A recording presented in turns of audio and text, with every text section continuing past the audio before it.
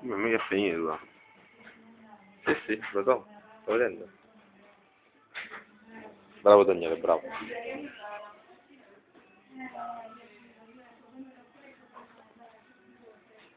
La mano dell'artista.